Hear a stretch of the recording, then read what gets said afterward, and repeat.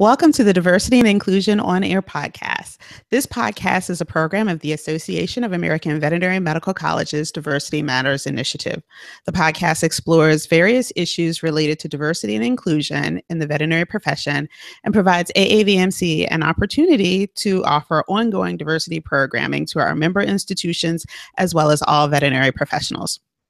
My name is Lisa Greenhill, and I'm the Associate Executive Director for Institutional Research and Diversity at the AAVMC. So today's show um, is devoted to exploring diversity through the lens of public practice. My guests today are Dr. Rachel Cezar from USDA and Dr. Valerie Reagan from Virginia Maryland College of Veterinary Medicine. Unfortunately, Dr. Reagan is having some internet issues, so she will be joining us a little bit later in the show. Um, but uh, for now, we will have a really great chat with uh, Rachel and um, find out a little bit about what she's doing um, at USDA and uh, what um, she uh, has to share with us. So, um, Rachel, welcome to the show. Thank you. Thank you. So, um, as we do on the show, I like my guests to share a bit about their background and their career path. So, why don't we uh, get started? Okay, great. So, basically, um, I am with USDA, United States Department of Agriculture, and I am actually um, in the Riverdale, Maryland area, which is right outside of Washington, D.C. Um, I've been here in this area since 2007.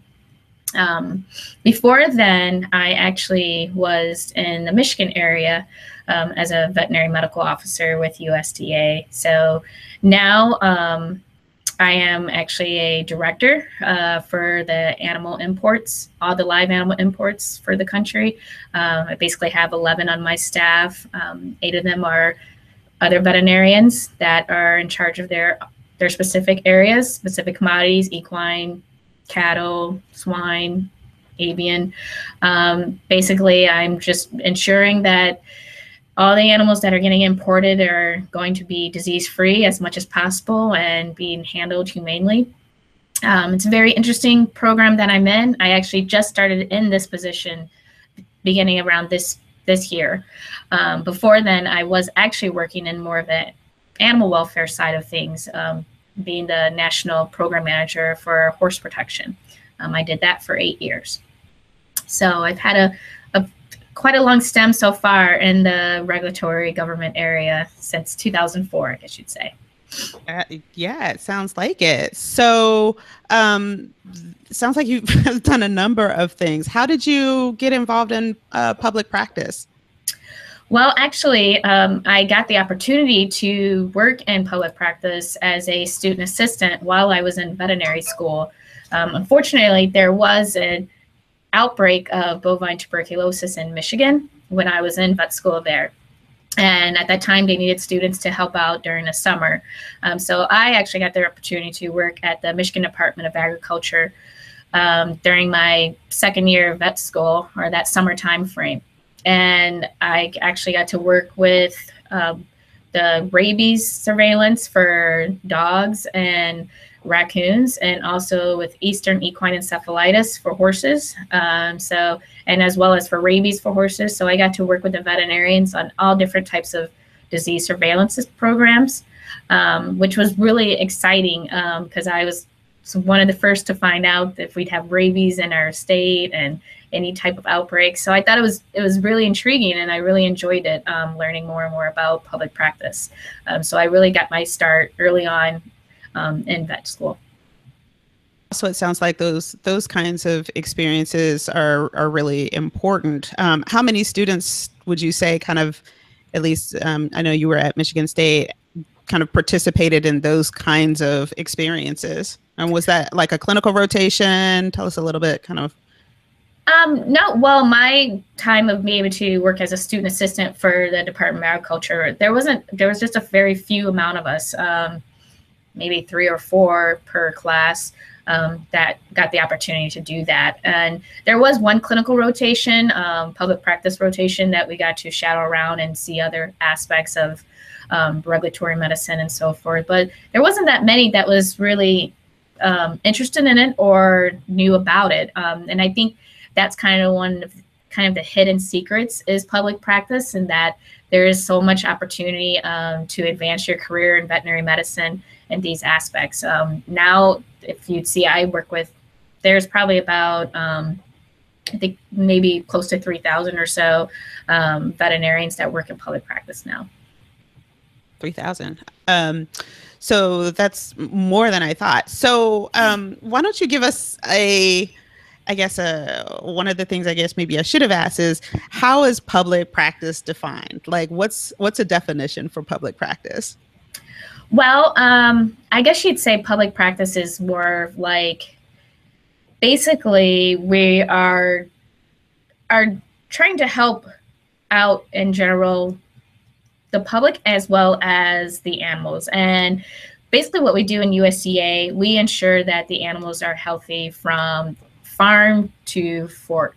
I guess you do. Sometimes people say because we make sure that once those animals get on the farm, that they're going to be disease free, and then once they get all the way to the grocery store or to that Outback Steakhouse or wherever, um, that they're going to be something that is disease free. You don't have to worry about it. And it's interesting. You never think that veterinarians are that engaged to that component, but we are all the way to to where they're going to be um, where you would eat them. Um, or in nature, also we worry about the animals that the public sees. Like like I said, I used to work in this area called animal care, and so that was a component that basically any animal that you see on the TV or the zoos or or SeaWorld or wherever, we ensure that those animals are being taken care of appropriately. Um, because any animal that's in the public view, we would ensure that that's being done. Okay, all right. So um, thanks, Rachel. So Dr. Valerie Reagan has now joined I'm not hearing us. You if you can hear me, so bear with me just a minute. We can hear you. Can you hear us?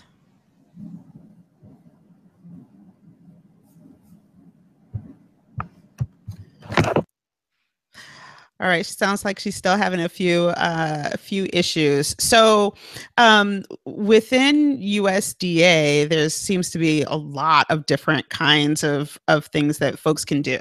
So it's kind of a little bit drilling down more on your current job. So, you know, or at least public practice in general. So, for folks that may not know, maybe pre-vets who be um, maybe watching, um, is this a nine to five job?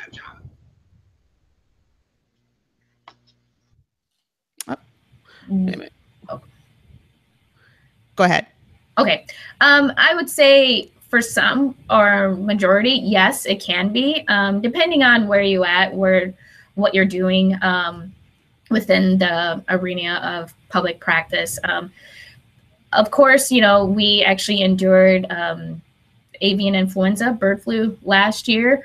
Um, and so there was a lot of our veterinary staff that was deployed out to help with those surveillances and, and trying to um, make sure that outbreak was being uh, being negated as much as possible. So, so there was a lot of individuals that did have to work a lot more than just nine to five um, during that time frame. Um, and that's because we're kind of like the ones that are the, the frontline soldiers um, when there's an emergency for any type of animal emergency that goes out.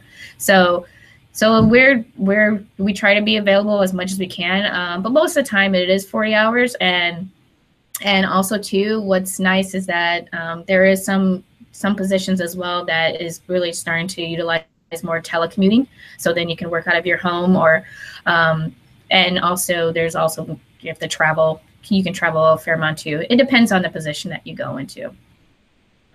Dr. Reagan is now with us. Hi. Hi. Wouldn't you know, our, our whole university internet went down at 10 It's back now. Murphy's Law, right? So, well, welcome to the show. We've just been chatting a little bit about um, what Rachel does at uh, USDA and um, a little bit about her thoughts on um, on how she got into public practice.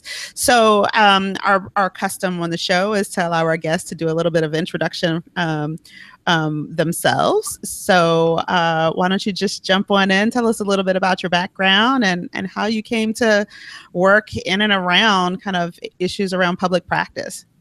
Okay, thanks. Thanks for the invitation. Hi, Rachel. Nice to see you again. Um, one of the nice things about this public practice community is it's a relatively small community, which is nice because we all pretty much know each other. So that's that's a nice thing. Um, but I kind of came came to it in a in a kind of a roundabout way. Um, I went to veterinary school thinking I would be a private practitioner um, because that's pretty much all I really knew that veterinarians did, quite honestly.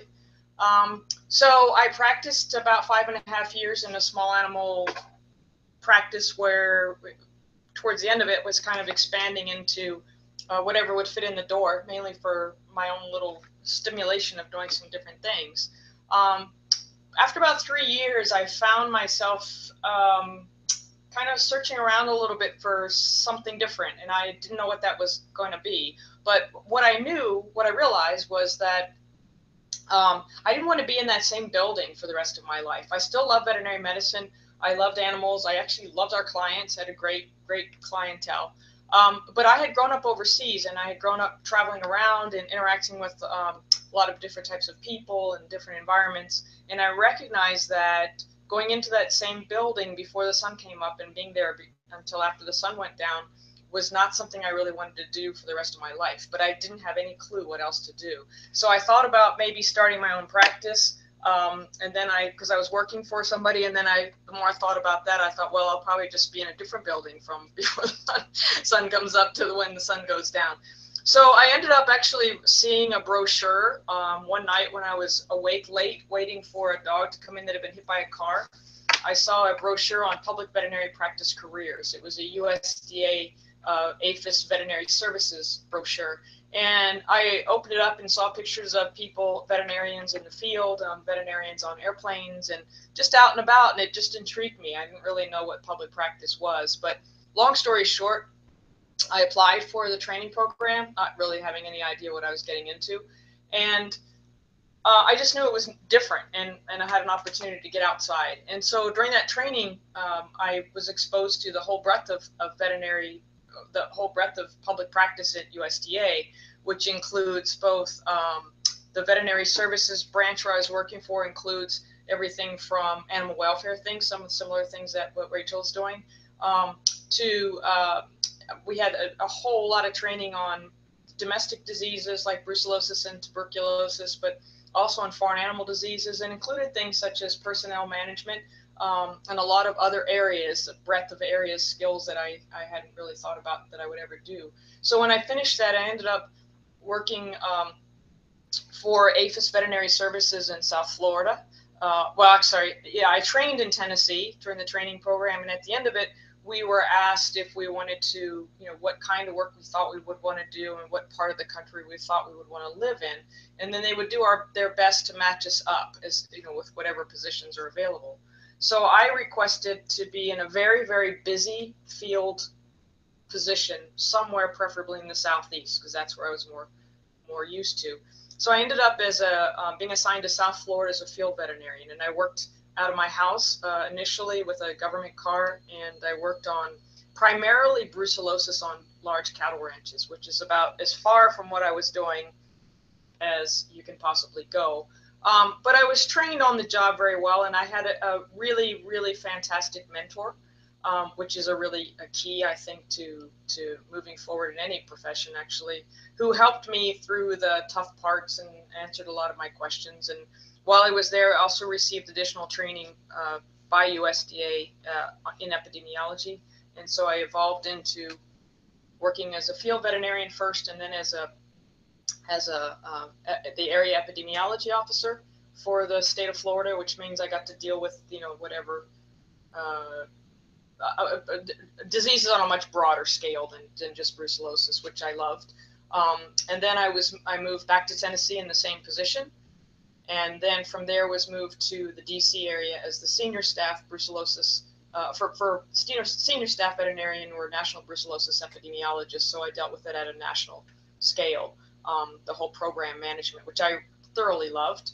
Um, during that time, the opportunities arose for me to be able to do some international travel as well and, and working with other countries on their brucellosis programs, which fulfilled that personal need of mine to be able to travel and to, to go to different places and to have new challenges every day um, that were actually very challenging for me because I hadn't really been raised in that environment.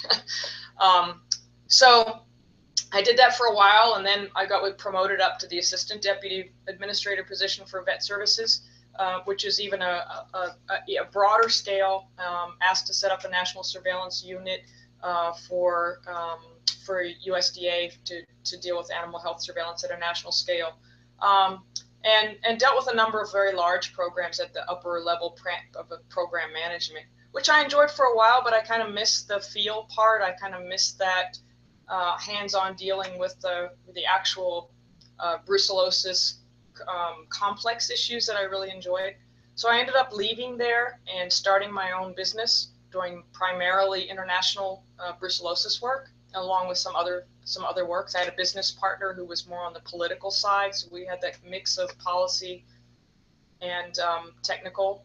Um, and so I got to go back overseas and do a lot of work in the international arena that I really enjoyed, setting up programs and dealing with um, pro, uh, problem, complex cases, um, both uh, privately and working for governments as well. And I did some work for World Bank, doing some country level assessments in the Republic of Georgia, and some other things that really satisfied my own personal needs.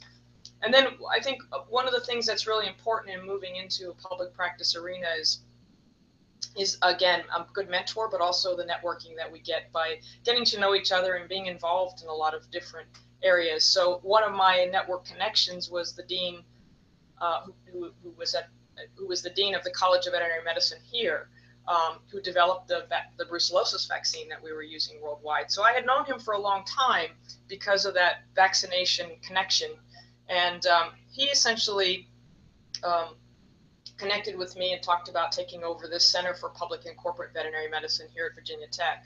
Um, actually, we have a Virginia Maryland College of Veterinary Medicine. We have a campus in Maryland and a campus here, and actually an equine center also in Leesburg. So um, he recruited me to come in and basically take this center and reinvigorate it and grow it and help train veterinarians for the public practice positions of the future. Um, it was kind of a really wide open job description, which fits me perfectly. So um, I essentially sold my interest in the company and um, came here. And I actually started at the Maryland campus about seven years ago uh, there because of the DC connection so that we could work very hard with the federal agencies and others in the area to to basically revamp uh, the whole public corporate track and, and practice area. Um, so I worked there for about five years, and then I transferred down here to Blacksburg, Virginia, to the main campus, and essentially doing the same thing and training. Do two, two primary things. One is training veterinary students to do this kind of work, which I love teaching, so it was a good personal fit. Um, the other thing is that we do a lot of work with career transition uh, veterinarians, which is veterinarians who want to move from a private generally private practice, not always, and so, sometimes they move around within industry or other areas, um, but also um, who want to change the system. And, and, Rachel and I have worked together on some of this, helping veterinarians change from one area of veterinary medicine to another. So our area of public practice includes, and I'm sorry I didn't hear what Rachel said earlier because I had technical issues, but it includes not only government agencies, federal government and state agencies, but it also in, in, includes the corporate and industry side. Um, so there's a large public, uh, uh, corporate and industry side of public practice as well. So that's that's kind of my my long convoluted way to get here, none of which was. no, it's great. It's great. So um, there seems to be all kinds of positions available. And when you add um, industry and kind of corporate positions to the mix, it seems um, that, you know, if there's something interesting that you want to do, you certainly should be able to find it. Yes? yes. Yeah. And so one of the things, I'm sorry, go ahead. Go ahead. Yeah, go ahead, Valerie one one of the things that we do, and, and that's one of the beauties of public practice, but also one of the challenges, is because when people want to make career changes, sometimes they don't know what they want to go do. They just know they want to do something different. So one of the things that we start with with our own students here that are interested in this breadth of veterinary medicine, but also our career transition veterinarians, is we start by having them walk through some self-assessments.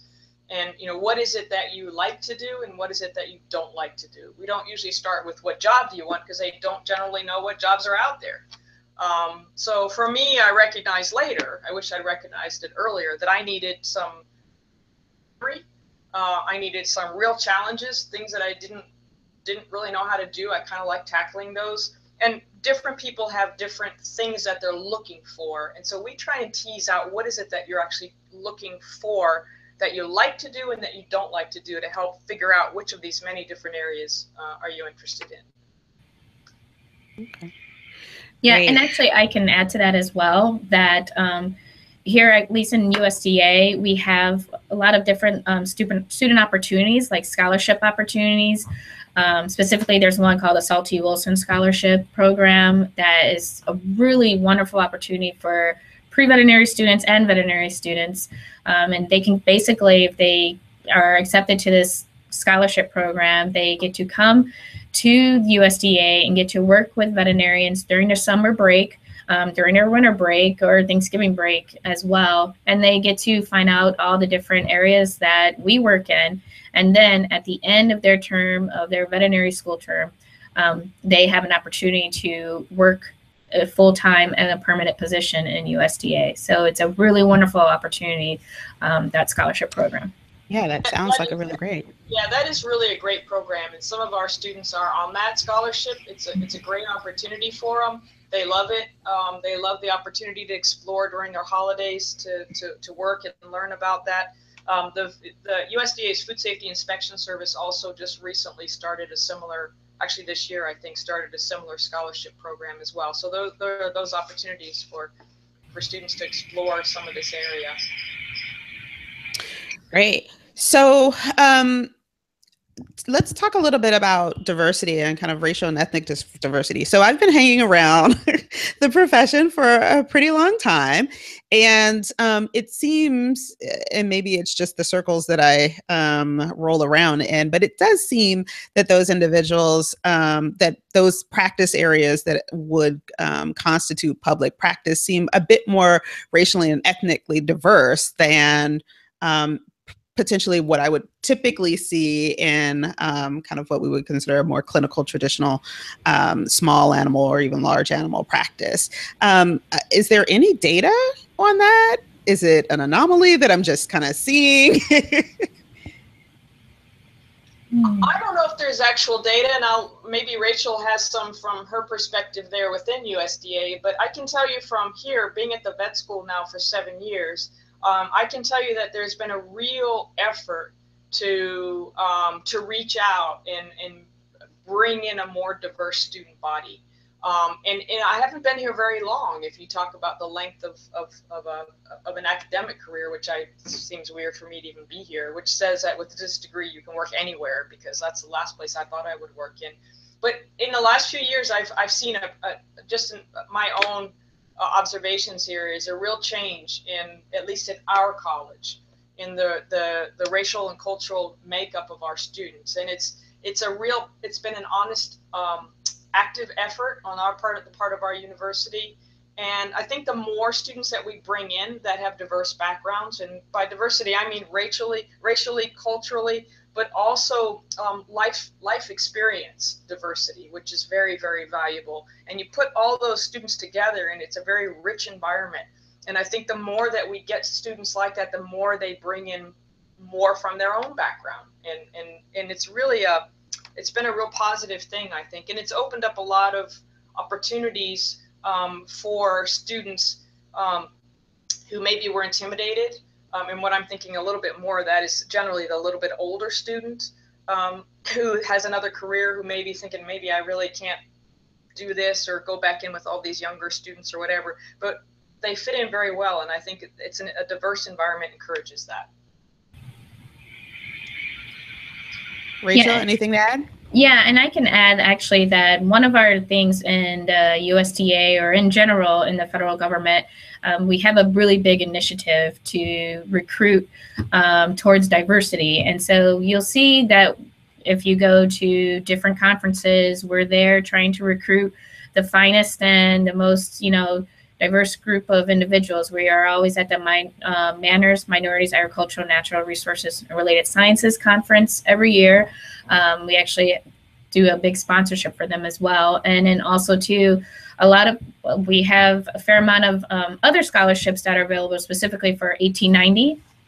Sorry, for 1890 um, schools, um, which are historical Black college universities, and so there in that component, you know, we help with trying to diversify our workforce as well. So we do a really big um, push towards trying to diversify um, as much as possible here because the the public, the ones that we are actually working for, is a diverse group that we need to also be culturally aware of as well. Sure. Um, some of the meetings that I attend during the course of, of the year, like SACNAS, which is coming up in a few weeks, and the Society for Advancement of Chicanos and Native Americans in Science, um, usually has a really, really strong um, um, representation um, across agencies, um, not just USDA, but NIH and CDC and FDA and, and all of these agencies that are um, recruiting. So certainly it sounds like um, for, for both of you, your careers have been kind of more focused along the lines of um, agriculture. Um, could you, either of you, speak to some of the other opportunities at other agencies maybe? You can go ahead, Valerie. Yeah, sure. Okay. So yeah, we Rachel and I tend to, to lean a little bit more towards our discussions on USDA because that's where our backgrounds primarily are. Um, but we work a lot here at our university with a breadth of agencies, and those include, of course, there's Food and Drug Administration, um, which hires a lot of veterinarians and also has some good training opportunities um, and some some positions. The Food Safety Inspection Service that I mentioned before um, has a has a, a breadth of, of, positions available, not only in plant slaughter plant positions, which is what I thought was all they did many years ago, but they do a lot of of um, you know outbreak investigations, uh, risk analysis type work, residue type work, a lot of other things. But also CDC hires veterinarians, so we have a number of students that are there on um, different kinds of programs. There's a Hubert Global Fellowship program that some of our students have gone through, the Epi- Epidemic Intelligence Service um, that uh, DVM MPH's students, we have a couple of those in there. Um, and there are other, like Department of Homeland Security has veterinarians working in there. The FBI has at least one that I know of. Um, so yes, there's a, a breadth of things. Of course, the Public Health Service, the U.S. Public Health Service, has veterinarians that work across federal agencies in public health. Um, and then we can't forget the state side as well. The state public health veterinarians or state veterinarians, which are more of the agriculture side. Um, but there, there is quite a, a, range of opportunities for veterinarians in a number of different agencies. And I'm, you know, there, there are a number, those are the primary ones that I'm talking about that hire the, the, the most veterinarians, but there are some veterinarians here and there um, they're a little harder for us to capture because they're not all necessarily in a veterinary named title. Um, they may be in administration, um, management, some different levels that they they actually apply the skills we know at, we, we learn as veterinarians in those roles, but they may not necessarily be classed as classified as a veterinarian. So it's a little harder to capture that data. Right, and actually, what I was going to add was that um, I actually was in the Air National Guard for about six years as a public health officer. Um, and I didn't know that they actually would hire veterinarians um, as a public health officer, but I had found out that one of my supervisors in the USDA was um, in the Air Force in that nature. And so I always thought that you had to be active duty in order to go to the Army or the Air Force or any type of military, but there is still this Guards and Reserve that gives opportunities for veterinarians to explore even more within their career. Wow, this is um, a pretty broad uh, set of opportunities. And I know certainly um, our CEO, um, Dr. Andy Maccabe, um, his uh, he's still active duty um, in Air Force Reserves, but uh, his uh, job before coming here, um, he was with CDC as the liaison between CDC and FDA. So, so there's certainly um, a, a, wide range of, of opportunities there. So let's talk a little bit about um, how does a pre-vet student how would a pre-vet student really kind of learn about these kind of career opportunities? Shy of listening to this wonderful podcast of course. Um, shameless plug. But um, what kinds of opportunities might exist um, for this kind of exposure for a pre-vet student so that we can kind of have an opportunity to, to think about what that pipeline looks like? Oh, Valerie. Okay, I was. I don't know if you want to go first.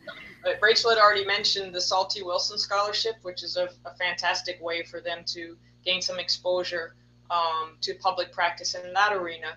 Um, a pre-vet student, what, what I would suggest pre-vet students do is the same thing that I would suggest we do with veterinarians and veterinary students, and that's to first reflect a little bit on what kinds of things do you like to do as opposed to what kind of job is out there. So um, even if you, and I've actually had our own students just string together keywords and then Google it and see what's up there. For example, public health, um, you know, animal welfare. Um, there's a whole lot of what types of things, international, um, you know, international vet medicine is a big part of public practice as well. So just string together a few words and just see what kind of positions are out there, um, what kind of work is out there uh, just to start to get an idea of the, the type of arena perhaps that you want to work in because it is so broad it's hard to it's hard to just say some particular things. But there are certain programs um, besides Saul T. Wilson um, the public health service has a junior uh, what they call junior COSTEP i forget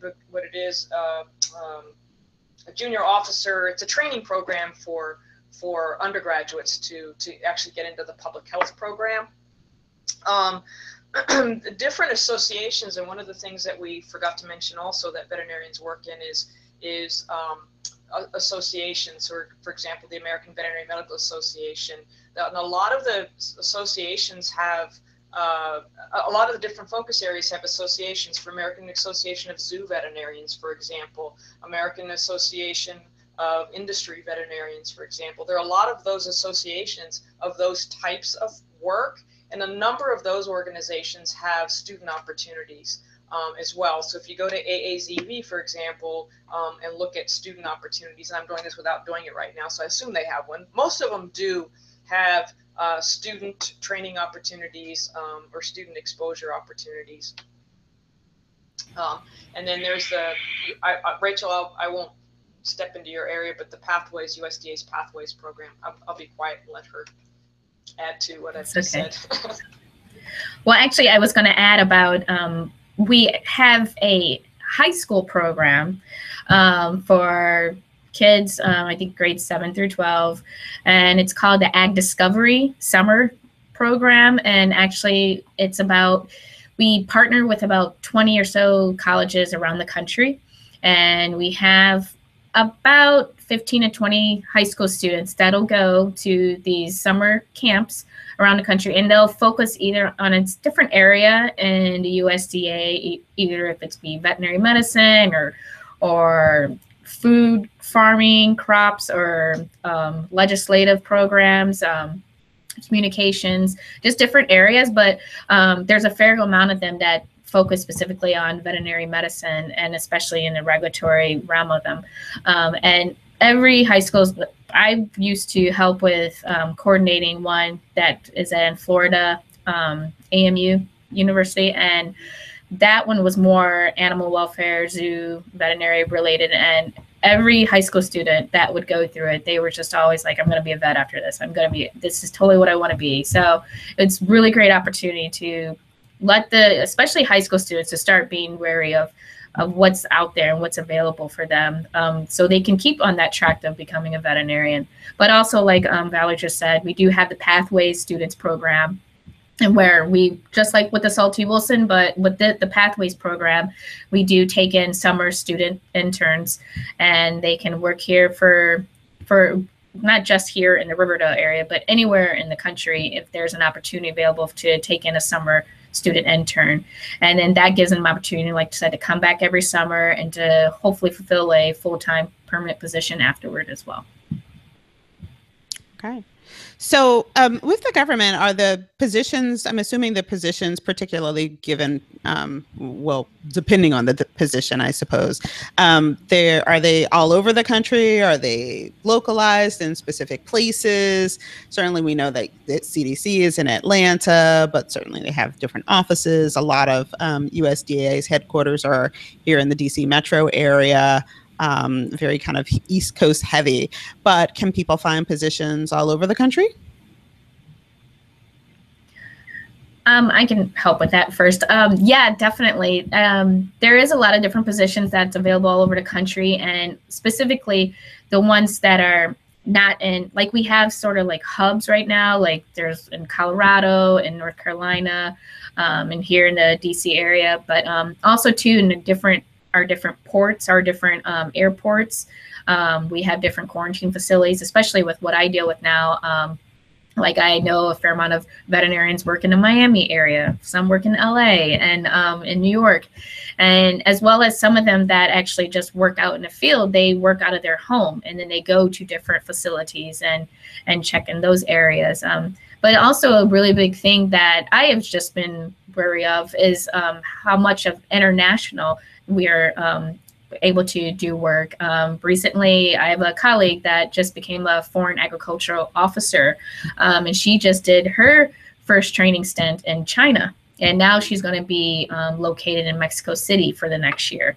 So there's just and and what's awesome is that she's considered a diplomat um, for for the U.S. now, and um, and it's and it's great you know she's getting this opportunity as a veterinarian and i had no idea that we had these but now you know now that i know i think i'm really excited to let others know that you know there's so many opportunities out there not just within our usa but international too.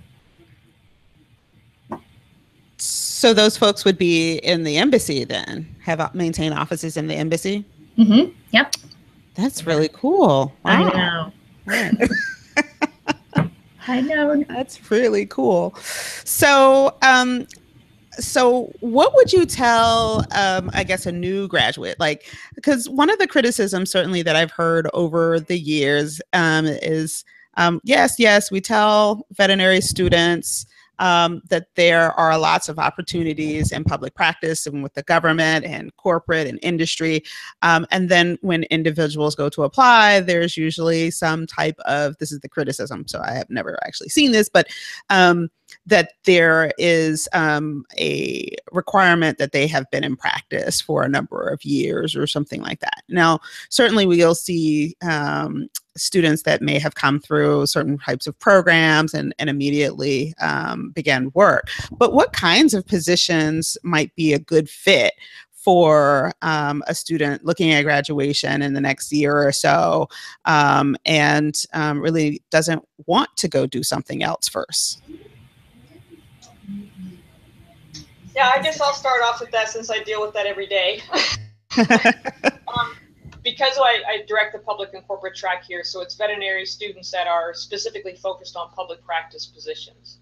So a part of what we do is, uh, you know, as I've already said a couple of times, is helping them figure out where their areas of interest are, and during their time here, helping to create the networks and to explore these potential areas so that um, when they're about to graduate, they both have a good understanding of the type of position that's out there and hopefully they've spent some of their fourth year getting those opportunities. So they're not just shooting for the hip, uh, from the hip, just applying to positions out there all over the place. So there are some positions, yes, that require um, some public, uh, some pra- private practice um, uh, experience. Uh, largely on the industry um, corporate side, there are more of those positions that require private practice. But we work with our students, and some of them want to do some private practice first, and others absolutely do not.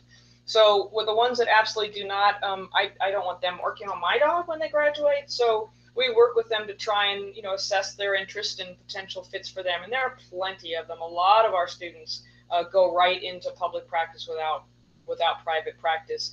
Um, so I think that it's it's it's more of finding the right fit um, but by doing the proper assessing and, and learning about what's out there.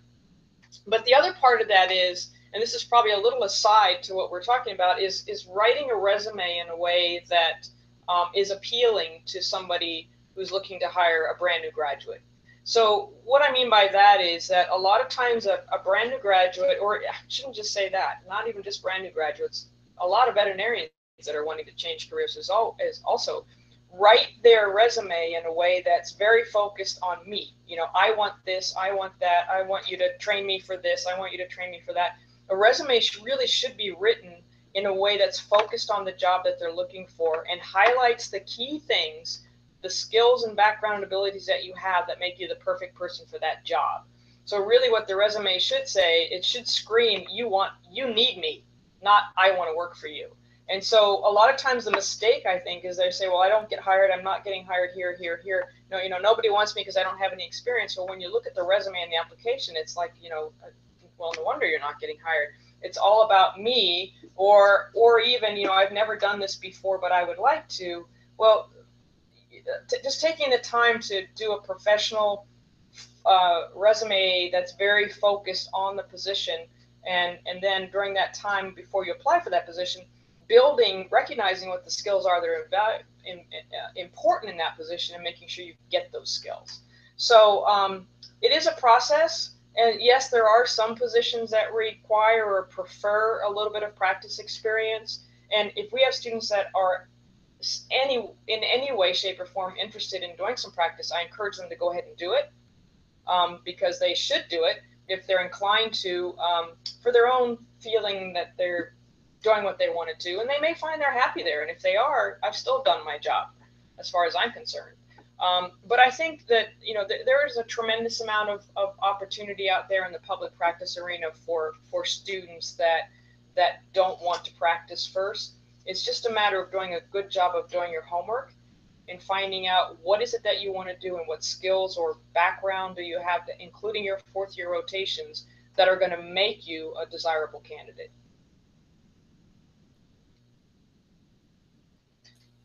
Great advice, um, particularly on the um, the the uh, resume. Great advice. Um, so one thing that I know, um, and I, it's probably been 20 some years since I applied for a federal job. Um, is that process as laborious as it used to be? Rachel, I'm gonna I'm gonna pitch that one to you.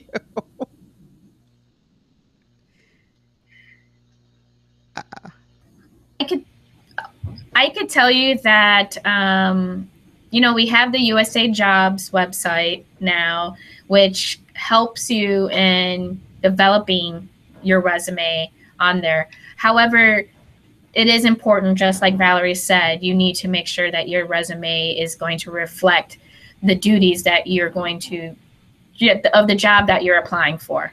Um, because a lot of times what's happening is that there's somebody in HR that's just basically trying to point out the different words that you have in your resume to see if if you qualify in that that matter and that's it. And then you move on to the next step of an interview um, a phone interview a face-to-face interview or so forth. But um, usually now um, we're given now really limited time frames to turn around positions. Um, like for instance, I have one position now um, that I have to get interviewed for, um, and I have to be hire that person within a month. Um, it used to be 90 days. It would, and you could extend it and extend it, and but now they don't want those extensions anymore. They want us to hire them. Um, within a month. Um, the unfortunate thing that I think that's been happening recently because we have been getting a lot of applications is there's been this limit on how many individuals that can apply and the positions are only open for a week. So that's why i always advise anyone that's applying for federal jobs to make sure on that usa jobs website you have your email alerts for any position daily because those positions are may only be open for a week. And also they only are allowing thir- the first 30 to apply. So it's just it's just really limited now because they're really trying to push to get it done because um, that's been a big thing this past administration especially Wow, that's um, that's a pretty tight time frame. So um, definitely also good advice to make sure that you're on USA Jobs. You said. Yeah, usajobs.gov. Okay. Mm-hmm. And uh, and apparently they have alerts. So, um, what kind of um, advice would you give to the transitioner the person who's been out in practice let's let's just make up a candidates right so this person has been out in practice for 20 years um, they actually do see an ending to paying off their student loans there is a horizon that they actually can see um, but they are interested in, in maybe coming out of the clinic and doing something different so where would that person begin besides, you know, besides the Google? Where would that person start? My advice, and we, and we get a lot of those that we work with, and my advice would be to start with uh, determining what is what is it that you're looking for, and I don't mean job wise. If you're running to leave a, a private practice, that's what your example is, right? Leaving private practice, right? If you want to leave private practice, what are the drivers for making you want to make that change? And if you don't really take a good hard look at that first, um, a lot of people end up job jumping because they, you know, I've, I've actually had veterinarians I've worked with who are in their third or fourth clinic, and it's always somebody's, you know, either the they didn't like something about this place or they didn't like something about that place or the person they work for. When we really dig into the discussion, it's just that they want to make a change from private practice. So I find if you don't do that self-assessment of what is it I'm looking for, um, personally and career wise then it's, it's sometimes it's going to be hard to find a job that's really satisfying so eh, you know do you want to work with the public or not um, do you you know are you willing to go back to school and get maybe a phd or master's or not um, what does your ideal career look like is it a nine to five or is it one there you don't care what hours you work as long as you get to work outside um, or you know those kinds of things both personally wise and career wise and i always say describe to me your ideal career. Just don't worry about what job, but what would your ideal career be that would really make you happy? Some people say, you know, hands on with animals. Some people say, I never want to touch an animal again as long as I live. Um, some people say, I've got to have that personal interaction. Other people say, put me in a lab. I'm tired of seeing people. I want to leave practice because I'm tired of working with the public. So all of those pieces need to be sorted out first. And then once you have an idea of the kinds of things that you're looking for and the reason why you want to make a change, then you can start looking for career areas that would fit those personal needs and make you really happy. So what happens is people do it the other way. They start looking for jobs first, and without without doing that assessment piece. So if you're looking for a a, a job where you that where you're tired of public interaction and you want to be someplace where you can just think and work by yourself, and and you know you apply for a job that's got you dealing with the public all day long, you're not going to be very happy. And vice versa. If you're really a people person and you apply for the director of a, lab, of a laboratory job or a, a lab, a veterinary diagnostic lab, you're probably not going to be happy in that environment. So I would always say start with that. And, and then once you really kind of figured out what is it um, that you're looking for, then start looking for what kind of opportunities are there that fit those criteria. So one of the questions I always ask people is, are you running to something or are you running from something? So if you're running towards something, you probably have an idea of what it is that would be really make you happy. If you're just running away from something, a bad work environment or whatever, and you take the first job that comes along without doing that assessment piece, you're probably not going to be very happy very long. Um, so that's that's the way I would suggest starting is doing some real reflection on personal reflection and career reflection and use that to guide your job search. Wow. Um, also, good advice for uh, just about anybody. We all have to um, excerpt that and make sure that it gets circulated pretty widely. Yeah, the other thing, um, I, and I don't mean to interrupt you, but this is a, a, something that I always share with both our students and our, our changing career veterinarians, and that is to start taking a look at what's actually happening out there that you find interesting. So, one of the things I do is I usually route people who are interested in public practice to the U.S. Animal Health Association website, which is usaha.org.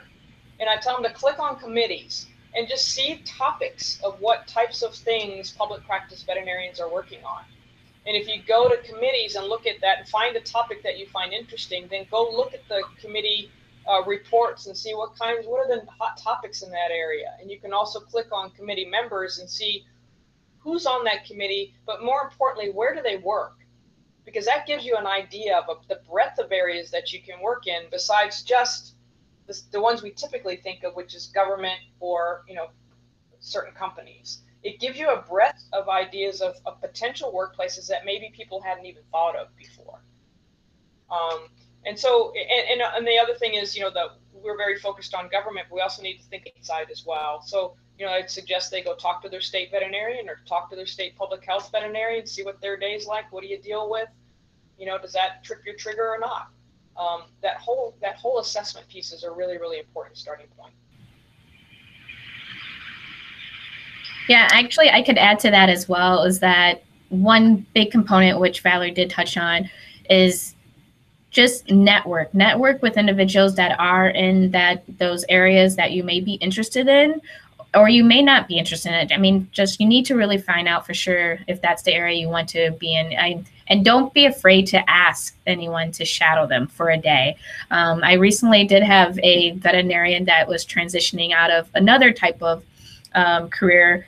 Um, she was more like a like a contracting veterinary specialist for Booz Allen Hamilton.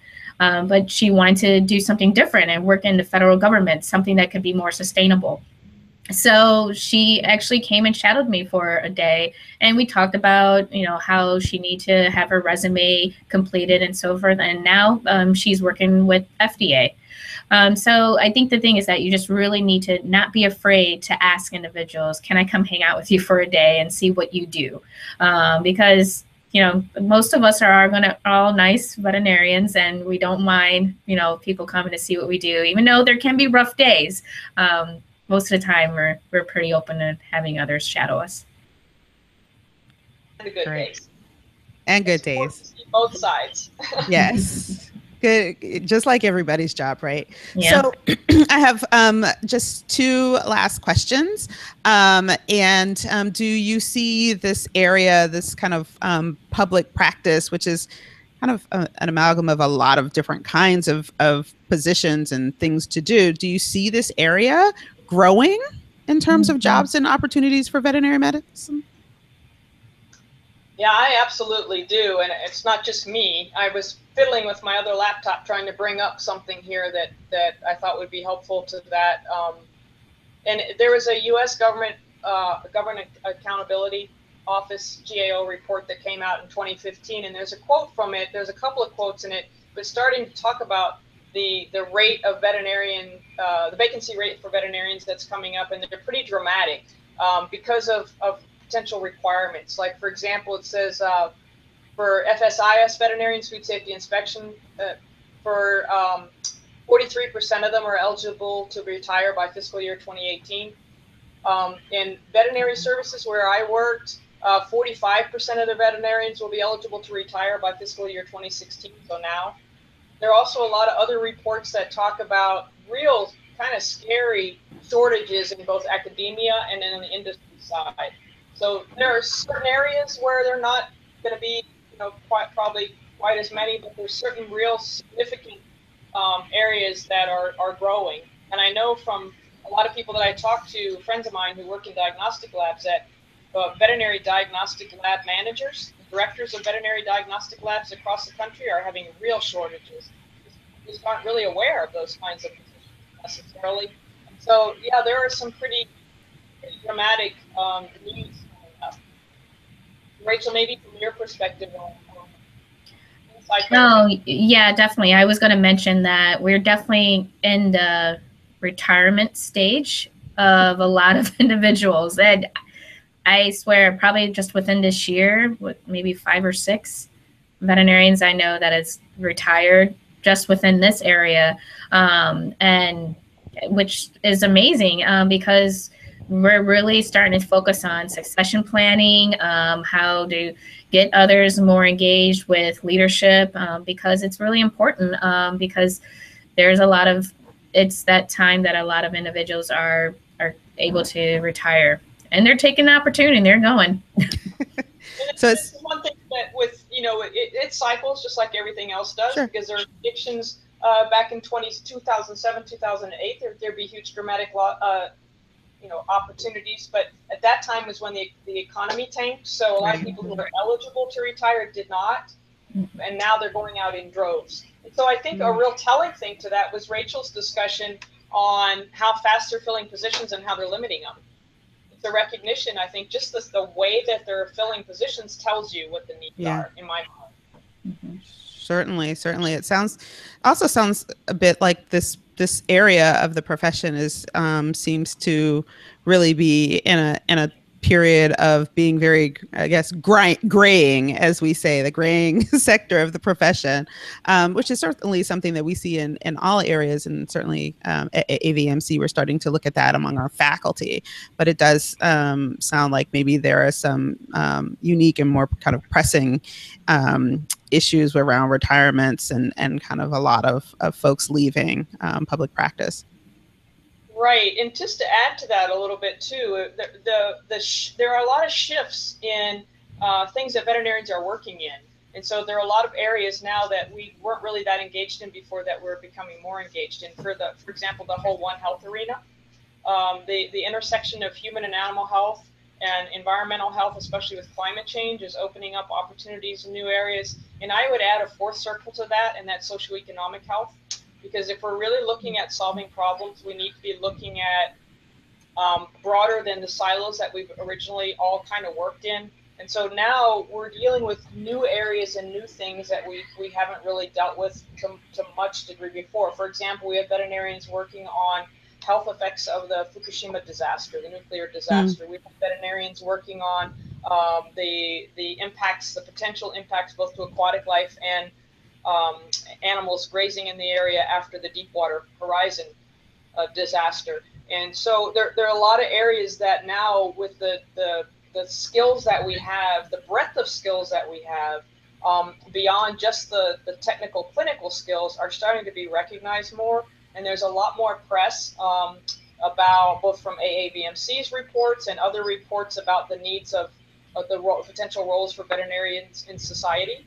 So that's why there's a lot more demand for us worldwide, is because we've become such more of a more of a global society now that uh, there's a lot of demand for veterinarians working in in other areas internationally to to deal with issues that we didn't really spend much time on before because we were very focused on our own country and issues. And now, as, as Rachel expanded uh, mentioned earlier, there are a lot of areas that are expanding uh, internationally too because things are different than they were 20 years ago.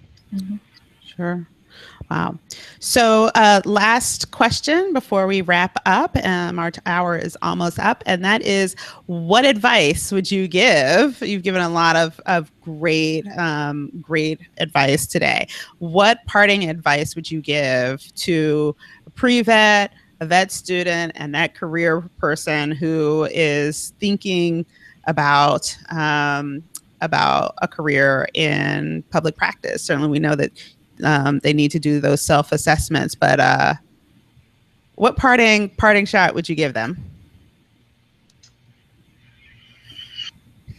I guess my thing would be um, is to not be afraid to take that leap of faith and try public practice and and like I said, and network and shadow individuals to see what it's about because you just you never realize the the venue that veterinarians can be involved in um, in the public practice arena. So it's you just really got to go out there and see what it's about. Yeah, I guess I would I would totally agree with Rachel. Um, and I would add to that uh, a couple of things. And one is that just the thought that if you're bored with this degree, it's your own fault because there's such an incredible amount of things out there that you can do. Um, and in addition to what she was mentioning about the networking and exploring, which is really, really important, uh, I would I would also uh, say it would be a really great idea to um, get yourself a mentor. Find somebody who's working in an area you're really interested in, and and uh, see if they can, you know, as, as Rachel was saying, either you know start shadowing them, you know, just to kind of get a feel for what they do. But if you can find somebody to help support your your your path, um, I think that's a really good idea. Great. You heard it here. If you're bored with your veterinary degree, it's your fault. That's the best line so far this season. Love it. Thank you both, Valerie and Rachel, for joining us um, on uh, diversity and inclusion on air. This has been a really great episode, um, really informative. So thank you both. Thanks no for the problem. Good to see you, and good to see you, Rachel. Good to see you too, Valerie. All right. So I'd also like to shout out and thank our um, student producer, William Willis, is in the background, uh, making sure that we all um, are seen and heard. So thank you. Um, you don't see him, but he's there. Um, and uh, I really appreciate the work that he and um, Arturo uh, Munoz Sid does as well. So, um, thank you for joining another episode of AAVMC's Diversity and Inclusion on Air. If you'd like to learn more about diversity, get programming ideas, and see some of the things that we're working on in at the AAVMC office related to diversity, be sure to like the podcast Facebook page, um, uh, Diversity and Inclusion on Air. Um, this is also a great place to suggest topics for the show, um, as well as exchange programming ideas um, for things that you can do locally on your campus, in your practice, or um, anywhere. So, um, again, thank you to both of my guests, and we will see uh, you all next time. Thank you. Thanks, Lisa. Take care. Bye. Bye.